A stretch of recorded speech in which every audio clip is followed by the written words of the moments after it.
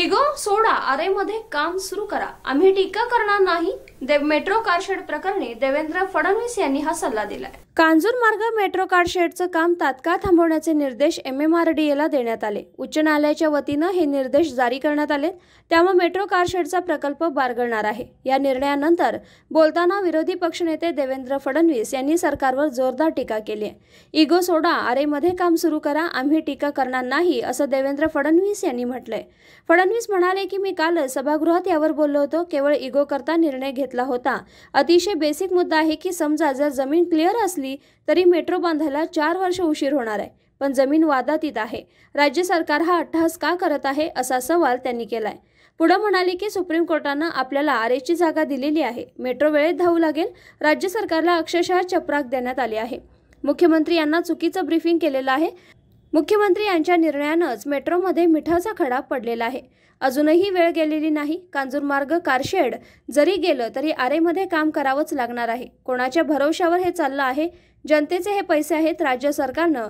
आरेमध्ये काम सुरू करावं. आम्ही कोणतीही टीका करणार नसल्याचं देवेंद्र फडणवीस यांनी म्हटलंय.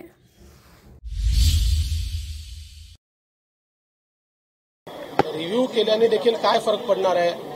जी फॅक्ट आहे ती एस्टॅब्लिश मला असं वाटतं की कुठेतरी सत्य स्वीकारून पुढे गेलं पाहिजे. सरकार इसमें जितना लेट करेगी, उतना एस्केलेशन कॉस्ट बढ़ेगा देखिए, सुप्रीम कोर्ट में ये बात भी आई है कि एक दिन का डिले जब मेट्रो में होता है तो उसकी अपॉर्चुनिटी कॉस्ट उसमें इंटरेस्ट की कॉस्ट मिलाकर पाँच करोड़ रुपए का नुकसान होता है रोज का.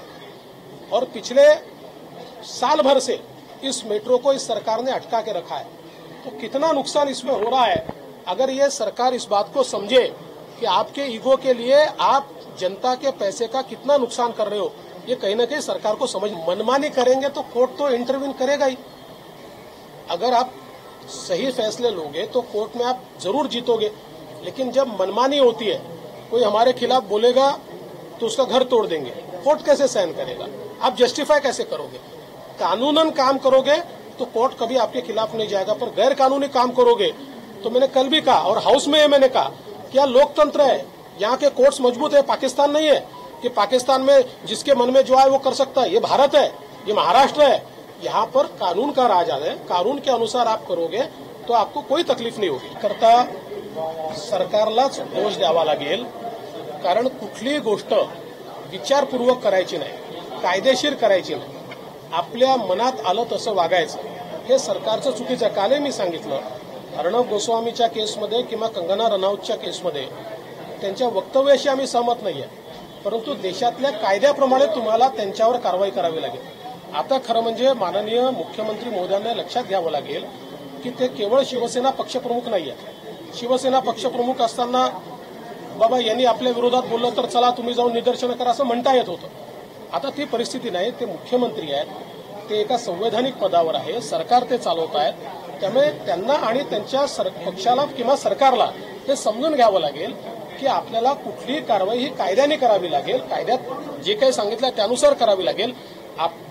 अर्णव गोस्वामी आणि कंगना रनौत यांच्या केसमध्ये त्यांच्याकडे अनेक ऑप्शन्स उपलब्ध असताना नाही आम्ही म्हणून ते झालं पाहिजे. आणि आमच्या विरुद्ध बोलता का दाखवून देतो.